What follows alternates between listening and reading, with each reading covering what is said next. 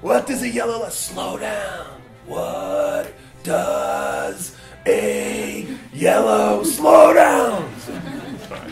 I organized that course as assembling the social world from micro interaction on up. People just go about their day and believe they're acting individually, but really there are these things out there, social structures that shape so much of what we do. And one of the real interesting things is the only time you really notice social structure is when you violate it, when you break the rules of social interaction, right? So people who look too long into someone's eyes or hold on too long to a handshake or the close talker, right? Those are all rules about how people are supposed to interact with each other that you don't notice until those rules are broken.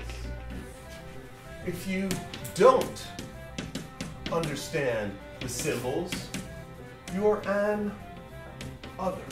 You're not my course takes these micro interactions and slowly through the semester assembles them so hopefully the students leave at the end of the semester with a, an understanding of the large social structures that organize society. The best part of this job is working with motivated and exciting students who are into being here, right? And my research is great and my colleagues are great and that is all part of the job, but the best part of being a professor is getting to interact with these young people, young adults who are have their futures in front of them and they're so excited to be here. Jasmine said, well, that's the way it was